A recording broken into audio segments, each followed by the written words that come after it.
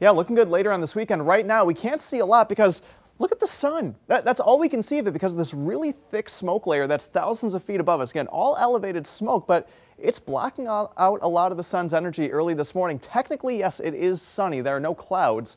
You're not seeing a lot of sun. 58 degrees at the airport, dew point in the upper 50s. That thicker smoke layer, remember, all thousands of feet above the ground across a lot of Nebraska and Iowa, and it's going to be with us through most of today. These aren't clouds. Again, this is smoke as we go throughout the day.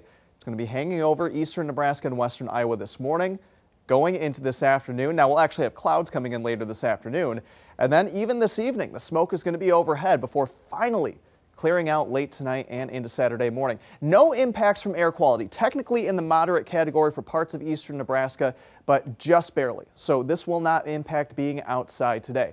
And you won't have any impacts from any type of weather either. Hazy through the middle of the day, temperatures in the mid to upper 70s. I've kept temperatures down just a little bit because we will have those higher clouds coming in this afternoon. They'll be thickening up and the smoke layer is actually going to be bouncing back some of the sun's energy. So I think we get into the low and mid 80s this afternoon, but not the upper 80s like we were anticipating. So we'll clear out a little bit this evening. Here comes a front later tonight. And that'll be our chance for a little bit of rain this weekend.